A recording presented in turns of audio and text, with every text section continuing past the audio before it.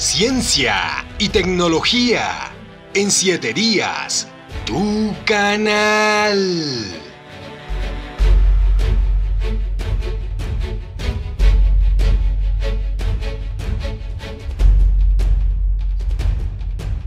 La Tierra se cierne con el tema más mencionado, el inicio del liderazgo ruso. El temido avance ha dado inicio y las consecuencias podrán ser notables en Estados Unidos y en todo el planeta. Por ahora los invito a entablar una oración mundial para los países comprometidos y sus líderes, para que se logre la paz y la comprensión, así restaurar el planeta y proteger miles de vidas.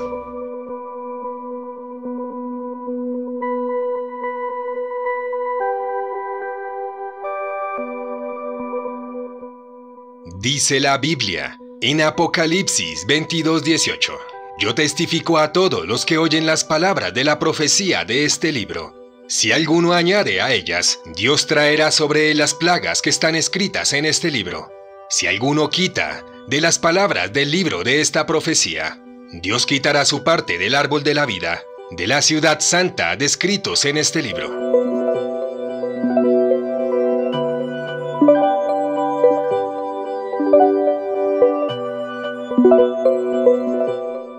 Reciente anuncio realizado en la mañana del jueves se refiere al avance de la gran operación en la región de Donbass, ubicada en el este de Ucrania. Sin embargo, las colisiones e impactos se dan a notar por todo el país de Ucrania.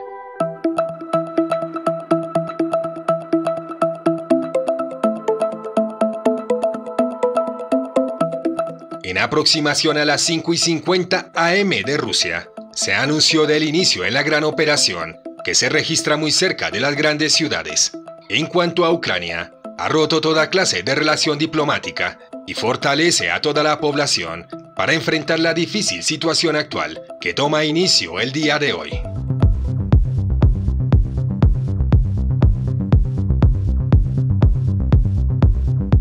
Los números de afectados en el inicio del conflicto empiezan a sumar, otros desaparecidos, y se dice que el país ruso no enfrenta resistencia en cuanto a Ucrania, que se ubica en grupos en diferentes partes de la frontera, donde el avance de Bielorrusia continúa.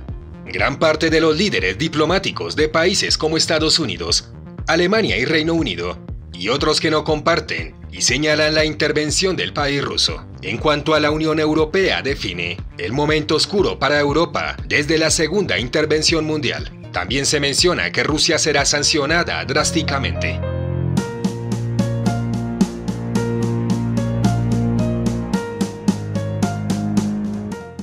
Antes de dar inicio a la operación mencionada, el presidente de Ucrania señaló al país que buscaría la paz. Luego de esto, en una reunión de emergencia en el Consejo de Seguridad de las Naciones Unidas, donde el secretario general de la ONU invitó al país ruso a crear posibilidades de paz.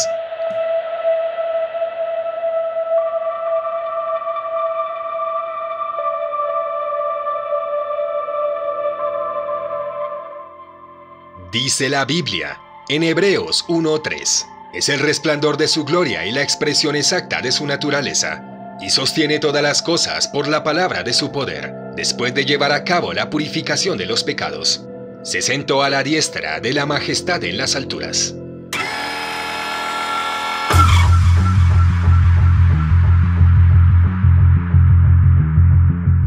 Uno de los más recientes aportes del mandatario del país ruso dice que la operación busca el orden de la autoridad de Ucrania. Incluso menciona que el presidente de Ucrania sería de hecho judío. En este caso la fe judía refiere a la creencia en un Dios omnisciente, omnipotente, personal y providente, quien habría creado al pueblo judío para revelación de la ley que contiene los diez mandamientos, incluso prescripciones de protocolos religiosos, de los libros tercero y cuarto de la Torah.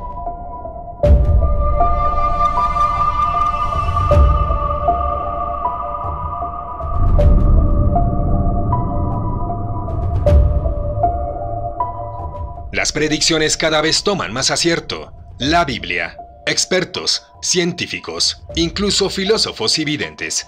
Los escenarios en nuestra época resultan contundentes y se refleja más a lo predicho en anteriores informaciones.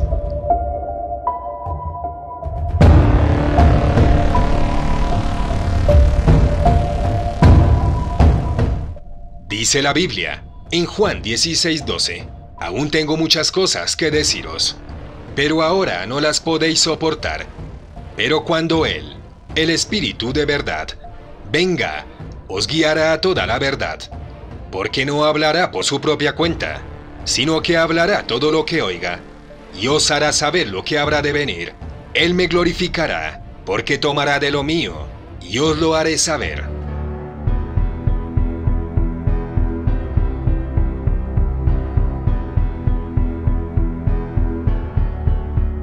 El riesgo se incrementa en el momento más crítico entre Rusia y la OTAN sobre Ucrania. Ahora las distintas prácticas entre países mencionados, donde se maneja una intensidad preocupante. Toda la humanidad se siente comprometida con el gran fenómeno de los países, el gran Rusia y Ucrania. El mandatario de Ucrania ha invitado a la población a mantener en sus hogares tras la llegada del avance ruso, que progresa por vía terrestre por la frontera desde Bielorrusia, además de los impactos en diferentes partes que ya dan un reporte de pérdidas de vida.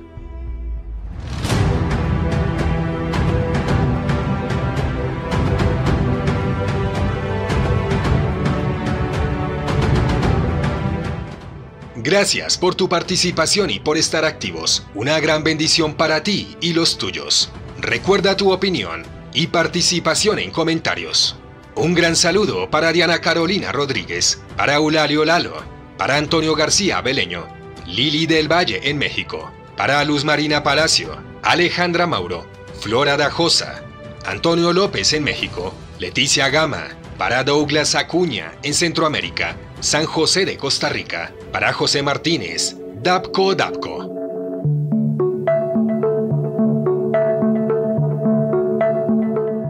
Carlos Arturo Montalbán, Rolando Castro, Arnet Monel, Dios te bendiga. Pedrito Acevedo, gracias por estar activo. Para Álvaro Núñez en Costa Rica, Wilma Rodríguez en Búfalo, Nueva York. Y Flor María Cárdenas quien nos comparte. Gracias, amado Señor, por todo lo bueno que haces por mí, por el aire que respiro, por los latidos de mi corazón. Gracias porque en cada amanecer me concede la posibilidad de levantarme, transformar mi vida y ser una mejor persona. En Cristo Jesús. Amén y amén.